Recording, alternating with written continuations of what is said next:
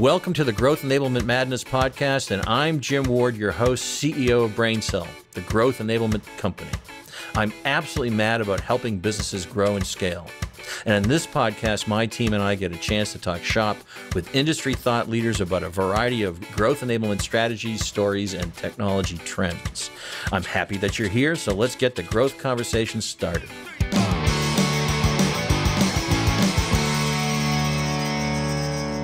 Hello, everybody. This is Jim Ward. I'm president of the BrainSell. We're a growth enablement company, and we're ba- happy to be back uh, on this podcast. And uh, we've got a fantastic guest with us today.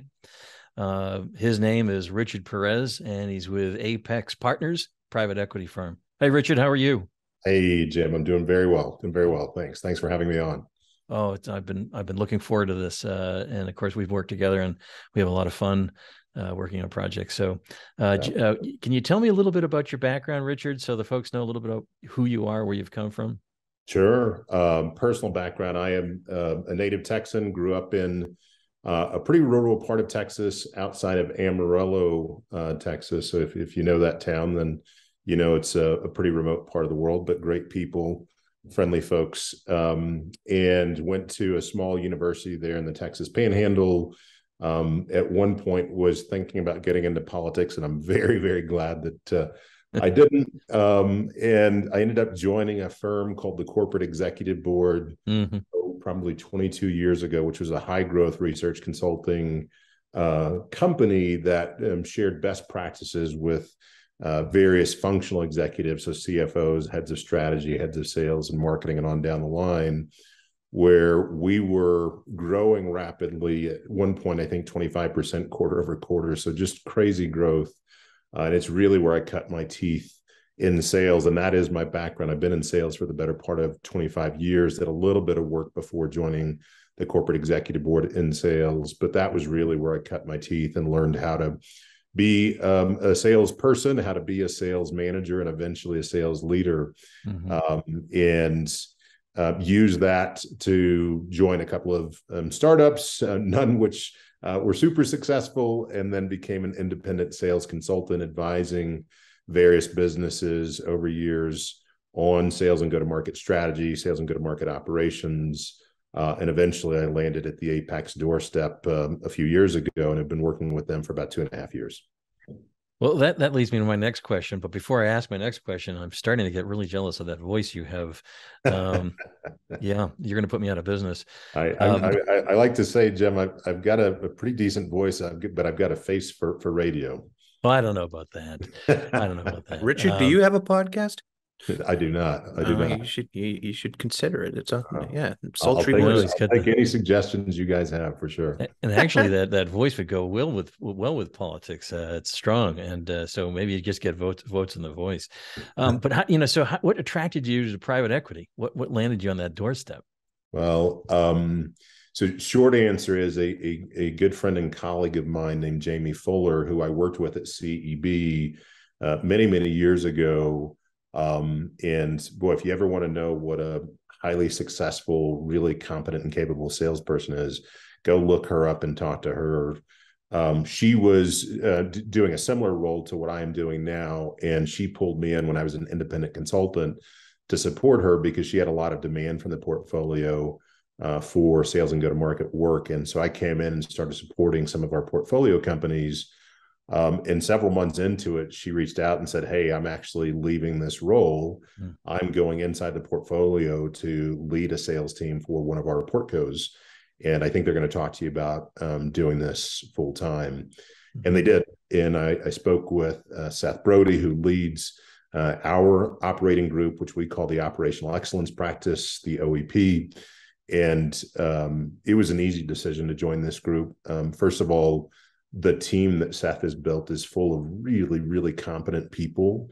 There, I think there are 28 of us. All of us are former operators who've been in seat doing the the work that we now um, support the portfolio on. Um, and every one of them, we have to go through this pretty detailed assessment to, to join the OEP. And, and the common thread among all of us is that we are all hardwired to want to make a difference, to want to have an impact. Right. And that's the kind of team that I want to be on. And I, I, discovered that pretty early on. And so it was an easy decision to say yes to that group. it was an easy decision to say yes to um, Apax because I learned that the deal teams are highly collaborative and they want to work with the OEP. Yeah. Uh, and then when when I think about the overall firm, the firm has a set of core values. I think it's four values that that the firm focuses on, but there were two in particular that really resonated with me. One is that we choose right over easy, and two is that we believe in learn learning, adapting, and growing. And both of those are central to my own uh, personal values. So when I learned that about apax it was a pretty easy decision to to join an incredible team with highly competent and capable deal teams and core values that that really resonated with me. That's a good reason for joining uh, because uh, uh, and, and, plus the uh, the noble purpose of actually really helping. I think that's very important. That's our uh, that's our uh, core as well. It's a core value of ours. Um, and and tell me a little bit about the role you play then at Apax Partners. Yeah. So I lead our sales and go to market practice. We have different practice areas within um, our, our within the OEP.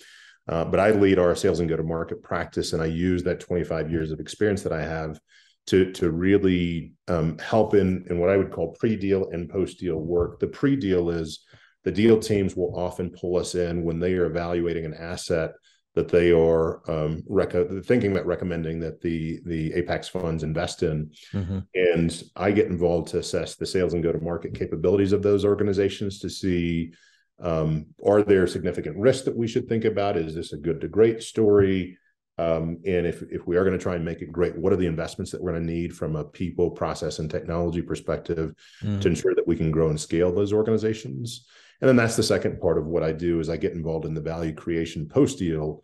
So we look for ways to um, capitalize on the the um, deal thesis that our deal teams have, and ensure that we're driving the growth that we we want to see, and that the the founders or the leaders of the, those organizations that we're investing in want to see. Our deal teams are exceptional at finding really great assets who are doing really well and growing, but we think we can grow even faster. And so I get involved in in supporting that. And I've got an individual on my team, uh, Chloe, who is a RevOps expert who helps with a lot of um, that value creation work on the sales operations or revenue operations side. Um, so that's what we do is look at uh, everything from strategy to operations to technology and process to go try and and, and deliver that value creation work that we uh, or that value creation that we all want to achieve. So you know we're very much aligned with that uh, growth and scale, which is why we call ourselves a growth enablement company um, your perspective uh, as an investor, so to speak, not you personally as the investor, but the uh, the partnership group um, has the same. It sounds like uh, with helping the investment and the companies grow. Um, what do you what do you and Apax focus on in terms of helping newly acquired companies grow and scale? What is your focus? Yeah, so I, you know, I, I wouldn't, I wouldn't be able to speak on behalf of the deal teams, mostly because mm-hmm. they all look at, at, different things, and and really we sort of leave the, you know, what is it that um, Apax focuses on to our communications team. So I'll, I'll, defer to them. I can tell you what I look at uh, when the deal teams bring me in. Um, we often will will look for that good to great story uh, that okay. we want to create, right? And and so um, when I get involved in doing um, due diligence with our deal teams, I will want to understand do we have a clear go to market strategy? So, at the okay. very sort of top of things, are we clear eyed about where we're taking the organization, uh, where we can grow? Um, does the data support that? In other words, do they have a track record that suggests that go to market strategy is working and that they can build on that? Number two, do they have a clear ICP, ideal client profile? Do they know the customers that are going to give them the greatest long-term value? That are going to give them the greatest or the highest ACV, best conversion rate uh, or win rate, um, and the, the, the best chance to, to, to, to grow, right? And so mm-hmm. oftentimes this is a place where sales organizations don't spend enough time is defining their ICP. Right. And you waste a lot of sales reps efforts by focusing on the wrong people. So I often look to see are they really clear about that? And then three, do they have a real clear value proposition? Do they understand what the impact can be of their product or service that they have developed on the potential customers that they want to go after? And that's oftentimes a place where organizations struggle. They understand sort of the what I'll call the features and benefits of their product or service, but they may not understand how it's actually impacting customers Um, so that's sort of the the table stakes of what we look at when we're first going into those conversations. But then you get into things like, do they have the right sales process, the right sales methodology? Do they have the right accountability structure, KPIs and reporting to give that transparency that you can have that accountability? Do they have the right technology stack uh, in place to drive the efficiency and effectiveness of the sales force? So there are several things that we look at and then when we come out of diligence, we say, look, they're the three, here are the three or four things they're really good at. But to get that good to great story, here are the five things that we need to go focus on to enable the growth and scalability that we all think we can get to. That's really great information. And for the listeners out there, um, uh, all of that is applicable to even folks who are not being invested in, or uh, all those are very important parts of looking at your own company and um, looking at make sure you have your your ICP clear. Um, very important. And you know, you mentioned uh, people, process, and technology. It's something we talk about a lot as well. Um, as you know, we do something called blueprinting here, which uh, focuses a lot first on that people and process um, before technology. Sometimes, can, can you talk to that a little bit? Do you do the same? Is that um, align with your thinking? Very much so. So, my general philosophy is that technology is an enabler for growth right? It, it does not actually necessarily fuel growth. Right. if you don't have the right people well, let's just start at the top. If you don't have the right strategy um, and you don't know where you're taking the organization you don't know who you're going after your again your icp you don't have the right people to execute on that i.e mm. go into those potential customers and sell them effectively. They haven't been trained effectively you don't have a good enablement in place. Um, you don't have the right process in place to go after the right opportunities and manage them through the pipeline if all those things aren't in place technology is not going to do much for you. And so i i fundamentally believe you have to have the right strategy and people uh, and process in place before technology is ever going to make a difference. And we see this um, you know, we've, we've seen it several times inside of our portfolio companies where we've made investments either pre-deal or sometimes post-deal in technology that really isn't getting things done. And then i i will work with the with the head of sales or the cro to spot why that's happening and then work with them on the people the process uh, the accountability to make sure that we get those things right in order to extract the value of those technology investments that that uh, we're making. Always music to my ears because having done this for now almost 30 years and seeing a number of failures in the marketplace where people thought the technology was the savior. Um, it's simply not. It's uh, it's an enabler, and uh, you really yeah. understand. Yeah, we we had a we had a business that was you know their head of sales was really eager to to buy a technology platform, a name that that we all know well. They're one of the 800 pound gorillas in the mm-hmm. sales tech space. And what I said to, to him and his CEO is, we don't have the right process in place to capitalize on that. You are not using your CRM yet, and the capabilities of your CRM are not optimized. And it's not going to talk very well to that new investment that you want to make. And so you will not get the value out of it. And sometimes you just have to educate them on the the idea that there are things you need to do before you'll ever extract the value of those tech investments right. and nine times out of ten if not 10 times out of 10 they're very receptive to hearing that Mm-hmm. And, and, you may know this, Jim, but but worth sharing is we operate on a pull based model here at Apax, which is to say we don't impose uh, a playbook or a rule book or even uh, require them to make certain investments in technology, or we don't tell them they have to go with Salesforce versus HubSpot or or Gainsight versus something else. Right. Um, it's up to them, uh, but we support them in helping them make those decisions, and we've got uh, partnerships with several of those tech vendors um, to try and get us the best deal possible, but also to ensure that we're getting the best value we can out of those. Um, but it's really up to them, and they will come to us at the OEP for advice when when they think they need it. Yeah, um, you know, you mentioned um, the tech stacks, et cetera. Uh, where does uh, data come in uh, from your perspective for these companies? Um, you know, do you talk to them about analytics, for example, and data plumbing and all of that? We do, but there are people far smarter uh, than I on the OEP who will have those conversations. I mean, look in sales, that is that is paramount to get right in order for you to grow and scale. If you don't have good data, if the sales team's not capturing data in the way that they're supposed to, you will never know where you are in the buying journey with your prospective customer, right? Um, and, and so you have to build that accountability in place with your sales team to make sure that you're capturing the right data throughout the sales process. Mm-hmm. There's some great um, technology solutions out there that help make that easier for the sales team for sure. But you have to build the expectation that that uh, that that needs to happen. Um, having said that, I don't have to tell you the business you're in. You know you know better than I. Data comes in many different formats and many, from many different places, and so. Mm-hmm my visibility is in the sales and go to market space and what the sales team captures, what the customer success team captures about prospects or customers. Uh, but there's a lot more data out there that, um, again, people far smarter than I will focus on to say, do we have the best capabilities to capture that data, to mm-hmm. understand that data, to interpret that data? Um, and uh, they will get involved to help understand whether or not their data is optimized, whether or not their data is captured in the right structure, in the with the right tools, and then how do you pull those different sources of data together um, to ensure that you've got the right visibility into the health of the business and the health of your customer base, and mm-hmm. uh, whether or not you you are are going to look at a good year from a renewal uh, perspective or not. Um, so we rely on those people again on the OEP who who are far smarter than I am to to to make sure that we are we are in a good position when it comes to data and that we have the right uh, solutions in place to enable our growth.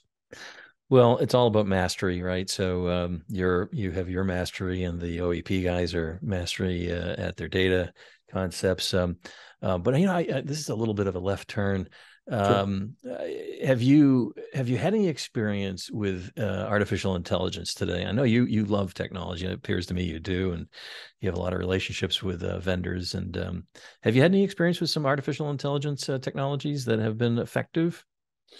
Um, me personally, um, no. Um, in in in that I haven't sort of been deeply involved in working with AI businesses when I was leading sales organizations. That said, we have a fantastic AI company called Faculty. Um, you can look them up, faculty.ai, which is an exceptional business who has done really great work. And as, as they would tell you, look, AI has a, a thousand different definitions and, and, probably a lot more than that. Um, and they've got a great story about the impact that they had um, on the the UK during COVID and were instrumental in helping inform decisions that the UK government was making about um, COVID policy. You can go to their website and get the story there, and and um, they probably saved, most certainly saved a lot of lives in the UK with um, their AI capabilities and some of the decisions that they enabled.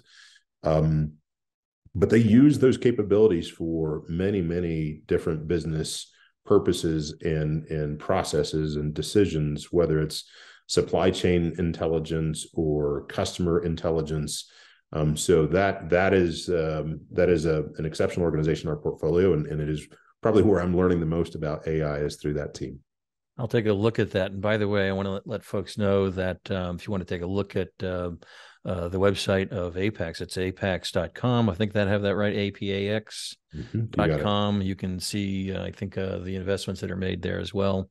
Uh, and a lot of profiles. Uh, very interesting. I want to look up faculty.ai. Uh, we have worked with some um, AI um, products, and actually, you and I have never talked about it. So that's a conversation for another day, sure. um, but helps uh, companies scale. Um, another conversation. But um, okay. So, uh, tell me a little bit about uh, building growth with sustainability. It's kind of an overlooked part of building growth. Um, how do you create sustainable growth within your uh, the companies that you're working with? Well, you know, not to be redundant, Jim, but I mean, it does start with a lot of the foundational things that I talked yeah. about earlier. Right? Is in order to to build um, really sustainable growth, that foundation of the commercial organization and certainly the broader business needs to be in place from from a commercial organization is it it is the, the, the building blocks from my perspective or do we have the right strategy? And is that mm-hmm. strategy informed uh, by data and information that tells us where we have the best chance to win? Do we have a strong icp is the second building block? Do we have a strong value message or value proposition and message around that? Do we have the right people in seat? And are we you know, developing those people to be as successful as possible as quickly as possible in our onboarding and, and beyond. do we have the right sales process in place do we have you know the right technology investments to allow us to to to drive or maximize efficiency mm-hmm. and effectiveness of the sales organization so those are some of the basic building blocks that that i think um, are important to to building and scaling uh, an organization but i want to take a, a bit of a left turn myself in in that um, there are things that i think commercial organizations need to do particularly as we look at potential economic headwinds. And I'm not yeah. an economist, and I'm not smart enough to to tell you where things are going to land. But it's it's apparent to I think almost anyone who is paying attention that we are likely and may already be facing some economic headwinds that are challenging businesses and and um, I suspect our, our businesses are, are, are no different, uh, mm-hmm. though I, I, wouldn't be able to speak to them. Um, there are things that you have to do in in this environment as a as a sales leader to ensure that your team is prepared for what could be sort of choppy waters in front of us to, to mix my metaphors um and so one that i've already spoken about twice but it is worth mentioning again and in, in, in this context is you have to get your icp right Right. If you're not really targeted, and even if you've done this exercise and you think you've got it right, it's worth doing again. The reason is you you don't in in challenging economic headwinds um, you don't have the luxury of wasting time. Right. And so i want my sales team focused on the best opportunities at every turn. They should there should be no wasted effort in this environment. And so doing one more turn of the crank on icp to make sure that everybody that is in my territory as a sales rep is the kind of opportunity i should be pursuing and and so it's it's a little late in the year uh, now, but going into 2023, I, I, if I'm a CRO, I would be turning the crank on this again, and I'm doing this with several of our businesses now. It is that important, and um, there there are different ways to do- define ICP, which we could spend a lot of time right. on, and it's a different uh, podcast. But um, that's thing number one. Number two is. Uh, managers need to shift away from managing and shift to coaching in this environment. And I think that's true in general. But there's some colleagues of mine. Um, I'm in Boulder uh, this week, but there's some colleagues of mine just down the road in Denver um, at an organization called Commercial Tribe, and they are focused on assessing how managers spend their time um, and are they allocating their time with the right people on their team, top performers versus middle of the pack versus new folks on their team, and are they doing the right things with their team? And this is a place that often gets overlooked by most sales organizations is they want to focus on process or technology mm. or you know market and product uh, that they're selling. But they often overlook and this is the thing that i think commercial tribe is really zeroing in on that's important is you've got an asset that is your frontline managers. Are they being optimized? Are they are they spending their right time with the right people doing the right things? That's particularly critical in this environment. Number three are you focusing on existing customers for growth I can't recall if you and I have talked about this organization, but there's a there's a go-to-market consultancy and, and training organization that we work with from time to time called Winning by Design. Um, in Jacco, their founder, uh, has a really great message. If you get a chance, go check out their website or go look at his LinkedIn posts. Uh, but he's got a great talk track on focusing on your existing customers. Why? Mm. They're the they're the people that know you best, and they are going to be the easiest, if you will, to sell to. Right. And so the idea of getting revenue from the people that are going to give you the easiest path to that revenue starts with your existing customers. So um, you have to look at your current customer base and say, all right, what's our cross sell ratio look like? What's our upsell uh, effectiveness look like with our existing customers? Can we you know move from 1.8x um, or 1.8 uh, products purchased by existing customers to 2.5 or 3.2 or whatever it is. So relentlessly tracking what your opportunity is for cross sell with the, the, people who know you best is critical. Boy. number four this is another place that winning by design i think is really smart on or is really smart about is you got to focus on impact at every turn of that customer journey. And it starts with sales. Like Challenger answered this question a long time ago when Challenger Sales was written, which is you have to focus on impact to the customer. Does our solution provide the, the right impact to the customer to move the needle? Otherwise, they're not likely to, to, to, to make a buying decision, but extends well into the, the, the, the, the buying process. Once they become a customer, have you really zeroed in on what's the impact we're having day to day, week to week? Um, so those are four things that I think are really important. And a not a not an insignificant fifth is do you have the right discount policy in place? When we are facing economic headwinds or when we are uncertain about whether or not we're going to get to our number, sales teams start discounting like crazy, and that's a mistake. And mm-hmm. so I'd encourage all CROs to make sure they've got a really tight handle on their discount policy. Otherwise, they're going to be giving away growth. Boy, that is great advice. I, folks, I hope you're listening closely. And if you can rewind and listen to that again, uh, spot on. This is uh, though when we change tracks a little bit and we go to our techtainment session, uh, we ask you a couple questions that you really don't know the answers because we haven't told you. Um, so if you're ready, I'm going to ask uh, one of the questions, and I want to ask you. Uh, you're a very well-read guy. Uh, what is your favorite business book and why? Whew. Uh, there, there are probably a few. Um, I think the one that I really like was written by the same guys who who wrote Challenger. So I could talk about Challenger Sale, um, and and that certainly would be up there. But they wrote um, a a sister book, if you will, a, mm-hmm. a complement to that called Effortless Customer Experience. Mm. And I think they wrote that back in 2013, something like that.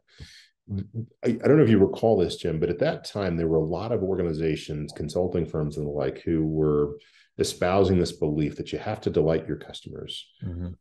effectively suggesting that organizations go on offense, bend over backwards as much as possible to delight your customers.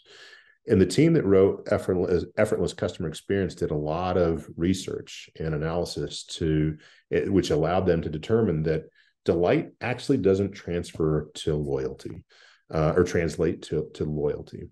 Um, quite the contrary. Hmm. What customers are actually looking for is for you to deliver a service that is effortless. If you are calling into your bank because you can't get your answer, um, uh, your question answered through their website or through their chatbot, and you get passed around on uh, their call system two or three different times, you're going to be pretty frustrated with that bank, and you're going to rethink your relationship there. Right. Too many organizations have made it too hard to do work with them. And so effortless customer experience talks about the data that they have pulled together that shows the strongest correlation to loyalty is not to light, but effortless experience. And so it's a great book for all of us who are in the service based industry to understand where the friction points in our organization when we're serving our customers everything from the sales process is that effortful to get on a call with a salesperson and get questions answered to the time that we become customers is the contracting process difficult? Is the invoicing process and payment process difficult? Mm. once i'm a customer how hard is it for me to do business with you do i have a challenge getting my questions answered are you taking too long to get me an answer or are the the, the answers or solutions unclear is the impact unclear and so I really like that book and, and often talk to it uh, uh to uh, about that book to customer success leaders. But it really is important for all of us whether you're a CEO or a head of sales or a head of marketing to understand, you know, are we doing what we can to engender loyalty with our customers and are we doing it in the right way? And creating an effortless experience, I think, is critical to that. Right. And that's where the expansion comes from and the cross sell, the ability to go back into an existing customer base. Yeah. Um, yeah. Who who wrote the Challenger Sale? Was that Brent Brent Adamson, Brent, Brent, Adams, and and um, uh, Matt Dixon, and boy, um, Nick is gonna he's gonna kill me because I've forgotten his last name. uh, Nick Toman. Um, no. oh, and, you got it. Yeah. and so uh, those those are the guys that wrote Challenger, and then Matt and Nick uh, wrote Effortless Customer uh, Experience with uh, Rick DeLisi. I forgot Brian was there. Actually, Richard, did you forget too? Suddenly, that voice came in, and I was like, "Who's that? who, the hell? Who the hell is the, that guy? Who the hell is that guy?" He just shows up suddenly. The security in this place is impeccable, by the way. I got, I got one yeah. curveball question too, Jim, if you don't mind. Go, go ahead. So, so when you Richard showed up to the podcast, so yeah, you know, I, I, I just came out of left field, yeah. But uh, Richard, when it comes to like if you could do anything and be guaranteed success, no matter what it is, what would you do and and why? Ooh, uh, start a charter fishing boat uh, business um, somewhere in the Bahamas? No, I don't know. Um, it's a good question. Well, Like you're an Bubba- outdoors, like you're an outdoor Gump. guy, so Yeah. I'm an outdoor guy, and and um, you know, I'm spending the week in Boulder for to celebrate a, a friend's 60th birthday this weekend. But I, I came here because I wanted to get some time outdoors. I did a, a hike early this morning in a mountain just just uh, a few blocks from where I'm staying. I, I really enjoy fishing. I enjoy hiking, boating. Um, anything outdoors is is um, sort of music to my ears, as, as it were. Um, what would I do? You know, I was guaranteed success. You know, for a long time, Jim, to be honest, I wanted to start a barbecue restaurant because I'm from Texas, right? And yeah, I yeah, lived in yeah. Austin, what, what I believe to be the sort of barbecue capital of the world. Yeah, I think yeah. people in in Tennessee and Kansas City and, and North Carolina might disagree with me, but um, uh, for a long time, I really wanted to start a barbecue business, and and um, so that uh, that's still sort of percolating in in in the back of my head, but I don't know that I'll ever do it. Well, you'd want to be guaranteed success if you did, right? So, Right? Yeah, that's you go. Right. definitely. Hey, Yeah. that's Richard Perez of Apax Partners. Uh, remember, um, the website is apax.com, A P A X.com. Richard, I want to thank you very much for joining us in this podcast. You are filled with great information, and um, we want to thank you for joining us today. No problem. Enjoyed it, Jim. Thank you both. And I want to say thank you to Brian, uh, who just showed up, as you know, here uh, suddenly. Yeah, you're welcome. Here, yeah, thank you, Brian. He's our I'll Brian be here all week. Yeah, Brian Anderson is our uh, content manager. He edits and uh, produces the podcast.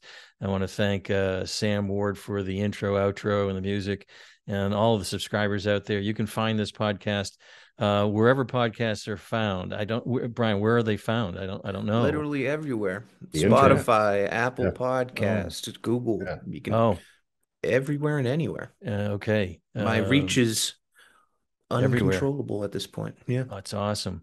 Well, hey, again, thank you, Richard, and uh, all the best in your endeavors that you're going through because uh, we love working with you, and uh, we will see you soon.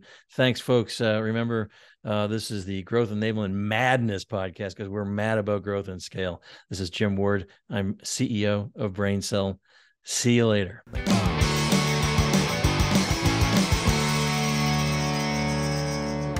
Thank you for listening to this episode of Growth Enablement Madness podcast.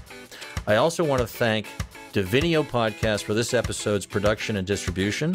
Finally, thank you to Sam Ward for our musical introduction and outro. Be sure to check out all of our episodes wherever you listen to your podcasts, including Spotify, Apple Podcasts, Google Podcasts, and more. New episodes are available monthly and cover all important topics for growing and scaling your business. Until next time, this is Jim Ward signing off. Let's grow.